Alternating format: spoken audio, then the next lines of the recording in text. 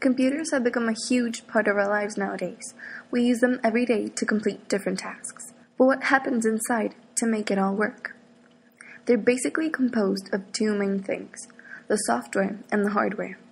The software has all the instructions and information needed for the PC to run. This includes the operating system and the programs. The hardware is all the physical elements that make the computer work. This includes the CPU, RAM, ROM, cache, etc. But what do they all do? To make things simpler, let's imagine a restaurant. Every day the keeper comes, opens up the restaurant and warehouse, and makes sure all is ready and working correctly. The keeper in the computer is called read-only memory, or ROM, which can't be modified. To keep everything running properly in a restaurant, we need an administrator. This is the central processing unit, or CPU, in a restaurant. It's called a microprocessor in cell phones and it contains the arithmetic logic unit and the control unit. The ALU in a PC would be the manager who takes care of the numbers and the logical part of the job.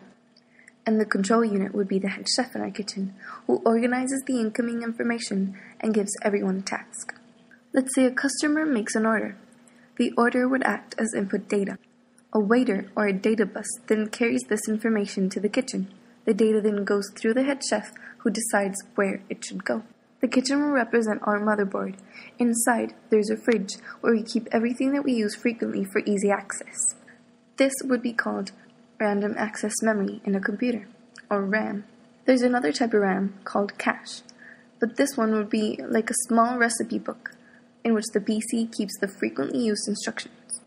There's also a warehouse with a bigger capacity where the rest of the information is stored.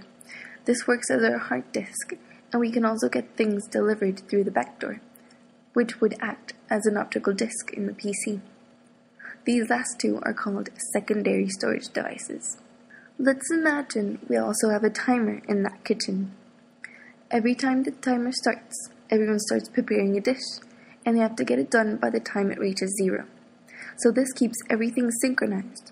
In a computer, it would be called the internal clock. So let's go back a little bit. We get an order.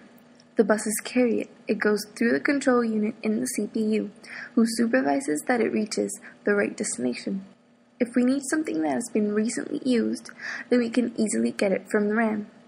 If not, the computer has to look for it in the secondary storage devices. Once our data is processed, now it's time for the cooks to turn it into some delicious food that we can eat. This is the task of the video card, converting data into images. This is pretty much how a computer works. Thanks for watching.